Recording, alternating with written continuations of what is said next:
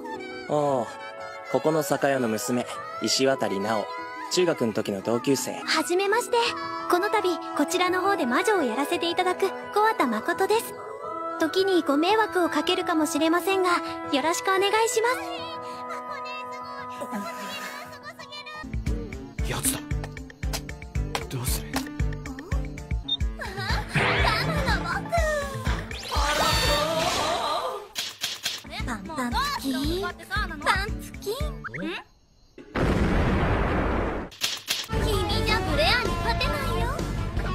何やってんだこのボケ。うるさいな。喧嘩してるんだったらさブレアのものになっちゃいなよ。お姉さん君のすること何でも許してあげちゃう。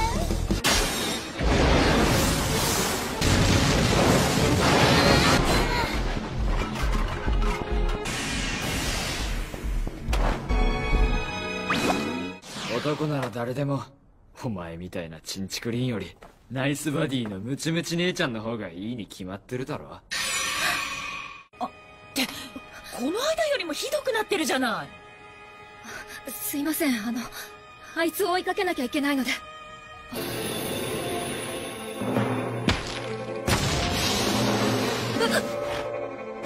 しっかり捕まっててね。このクラスでよかった。フェニックスさん帰りにお茶しようよ。いいですわねとイメージ違いますね。いつもの感じなら。何でも聞きなさい。答えてあげますわ。なんてな。ああ白先生あなたがいながら。申し訳ありません。学校の品位を著しく傷つけた敦子係の退学処分を求めます。待ってください。比べるべきは他の生徒ではなく入学当初の彼女ですたくさん失敗して確実に成長しているじゃないですか。成績や世間体ばかり気にするなんて。バカです。あの校長先生わけのわからない電話が入っているのですが密漁から絶滅危惧種の魚を救った半魚人を表彰したいとか。我が校の生徒が表彰されるのですからいてもらわないとね。半魚人さん。よかった擬態魔法が外部からパージされた？あ私を追ってきたのね。ボルフガング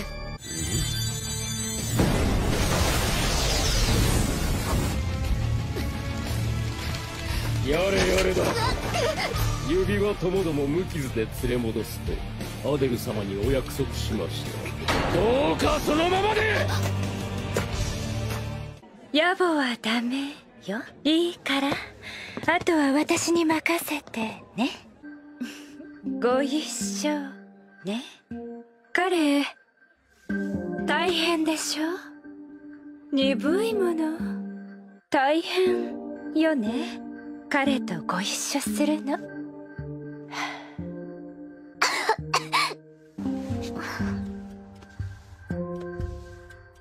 ごめんなさいね。道はいっぱい。正解なんてないの。難しいから。リセット。姫様。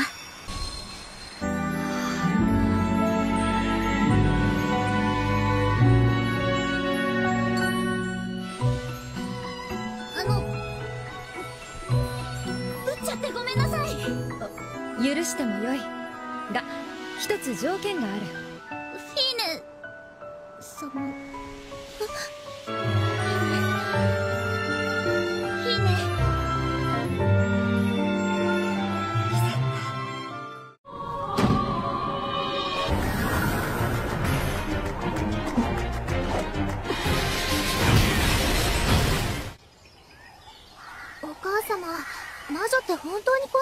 に住んでいるの？そのはずなんだけど。持ってお行き。いつもの調合をした薬だよ。マリアはさ本当に魔女なんだね。あーどうだったああマーサの娘とちびっこか。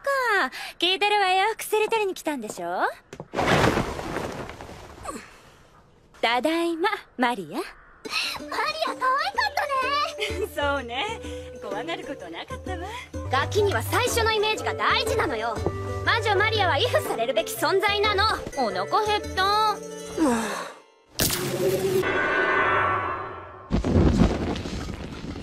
外の矢を拾ってこないといけないから。マリア。ん？あんたちょっと汗臭い。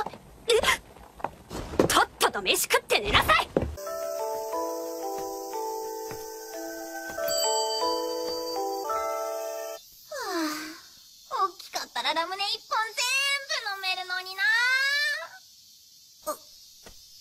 何か願い事が終わりですね。本当に落とし穴なし？魔女に二言はありません。じゃあ叶えてもらっちゃおうかな。はい喜んで。誰かにあなただと気づかれたらその時点で元のサイズに戻ってしまいます。では行きますよ。ファンファンファンカム。ところでコータ最近無理やり女の子を連れ回したり部屋に連れ込んだりする事件が多いけど。あの目が怖えんだよ。今夜は冷えそうだな。ママさんのご飯はうまいな。コータお茶入れたかな？いいだもういいだろ出てってくれよ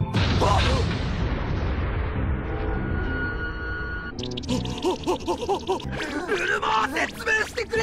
どうしてこの部屋に来たのかを。公園で会って連れてこられた。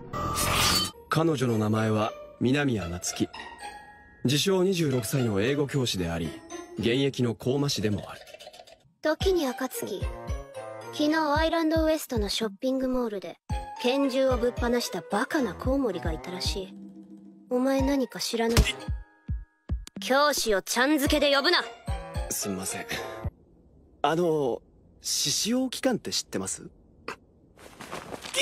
どうしてその名前を知っている？久しぶりに愉快な人間に出会えたものよ。こちらのお方は千年を生きる黄金の魔女ベアトリーチェ様にあらせられますベアトリーチェが姿を現してくれるのはとても光栄なことだよ。バトラ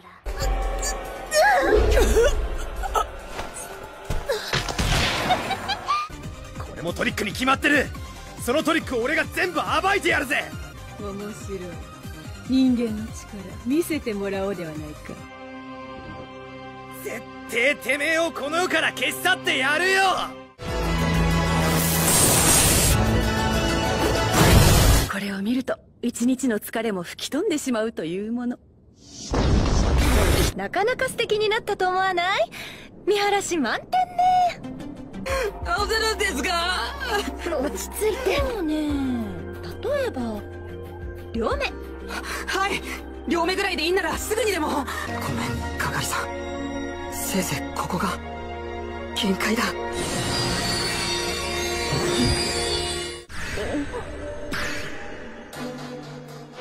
なぜかしら。